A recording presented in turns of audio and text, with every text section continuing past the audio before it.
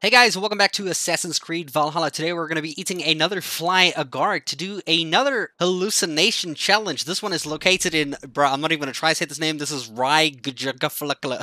Dude, dude, it looks like somebody slammed their head on a keyboard to type this name. What the fuck is this name? Anyway, it's located right over here in Raflaflakla. You can see Fornburg, where we're very used to, is over here. You can see this is in Norway. So we're on this island over here. You can see there is a mushroom right over there. And when you get to the mushroom, this is what it looks like. It has three statues over here, and once you actually get here, you can read this note. This note does say very specific instructions that you're going to be using.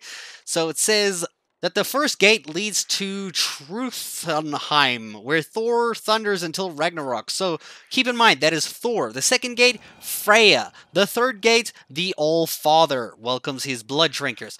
So you can see here, Thor is on the left here, obviously holding his hammer. Freya is a female god, which is the one in the middle, and there is probably Odin, or the All Father as they call him. Um, so he's this guy over there. So we're going to eat this over here.